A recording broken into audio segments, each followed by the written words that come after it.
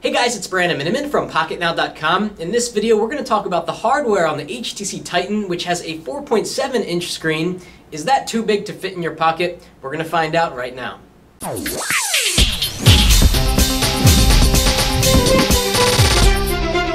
So do you actually want to see how it fits inside of a pocket? Well, let's take a look. Kind of an interesting little test here. So here it is. Uh, not that big of a device, actually. It's it's obviously pretty big in there, um, but it's definitely not too big uh, to cause your pants to fall down if you're not wearing a belt. So pretty pocketable. It's still quite big compared to some other devices.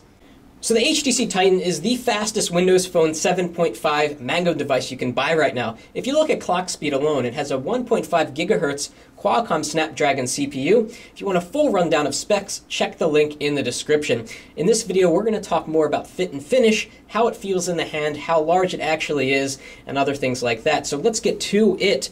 Uh, 4.7 inch screen as, as we mentioned here.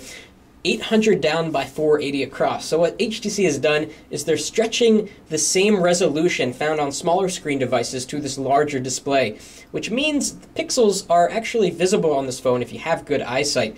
Uh, it, it has a PPI pixel density of 198 pixels per inch.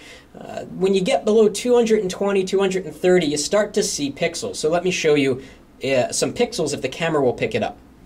Okay, so here we are on the start screen. We're going to zoom in on some of these tiles. If the camera stays in focus, you should be able to see some pixels, especially in this Twitter icon. If you have very good eyesight, you'll notice the pixels. It's not that big of a deal. It's still a very crisp and clear Super LCD display. HTC always makes a good display.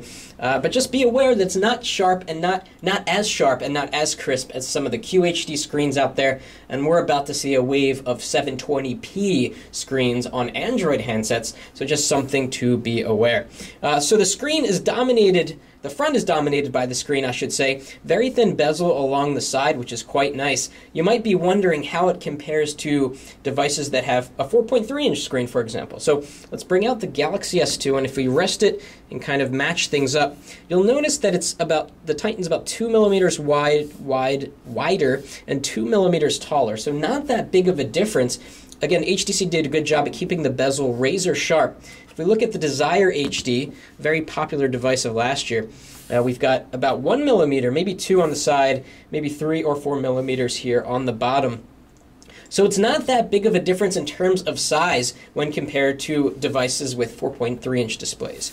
Got a front facing camera up here. First round of devices now is coming out with front facing cameras for Windows Phone 7 Mango. Got the capacitive buttons down here. Really interesting design cue here. Uh, HTC has protruded the screen, let's see if we can capture this on video, about a millimeter beyond the case.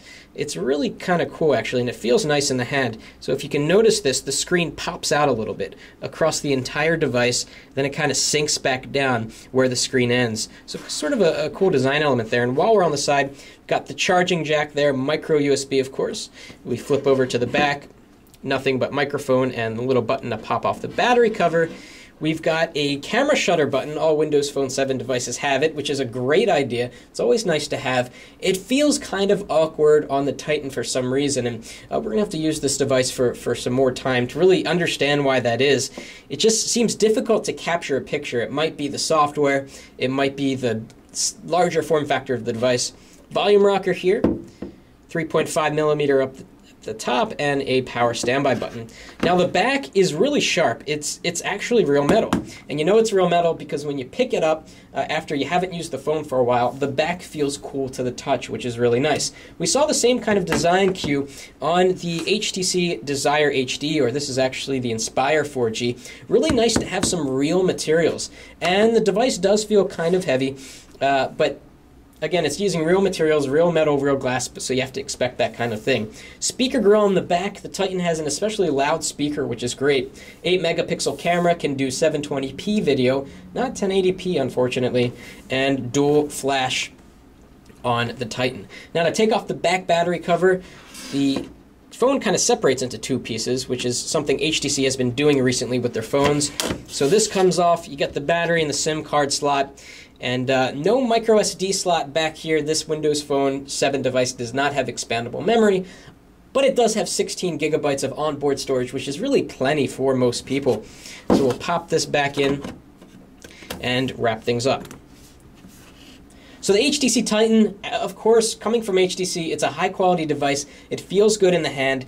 It looks like a lot of their other devices, to be honest. You get a screen and some buttons. You probably are wondering, well, how, how many different ways can you design a phone? Who knows? The HTC Titan looks like the Desire HD. It looks like a lot of previous devices to come from HTC, which isn't a bad thing. It's a high quality device. The screen is beautiful. It's large. It's a little bit low in terms of pixel density, but that shouldn't bother most people. So coming up soon, we are going to have a full software tour of Windows Phone 7 Mango as it runs on the HTC Titan. You're probably curious to see how this thing performs with a faster processor. If you like this video, please give us a thumbs up, and of course, thank you for watching. That's it for now.